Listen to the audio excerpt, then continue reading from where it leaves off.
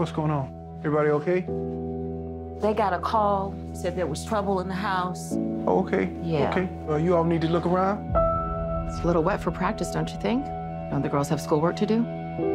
They do their homework. Tunde's first in her class. Lynn and Isha are too. Now, I don't even mind you saying we hard on these kids. You know why? Because we are. That's our job, to keep them off these streets.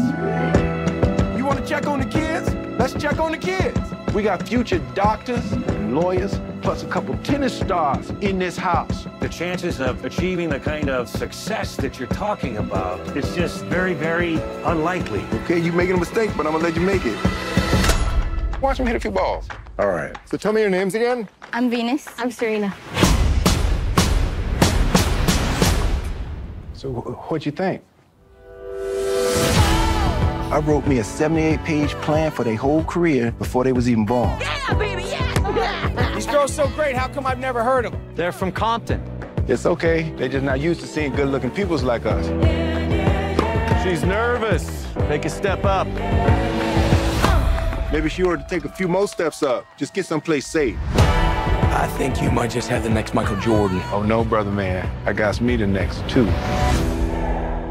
This next step you got to take, you're not gonna just be representing you, you're gonna be representing every little black girl on earth. I'm not gonna let you down. How could you?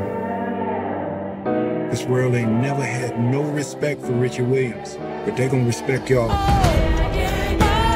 You gonna walk out there with your head up. You are a champion, and the whole world knows it. Most creature on this whole earth. It's a woman who know how to think. Yes, Daddy. Ain't nothing she can't do. You gonna show them how dangerous you are?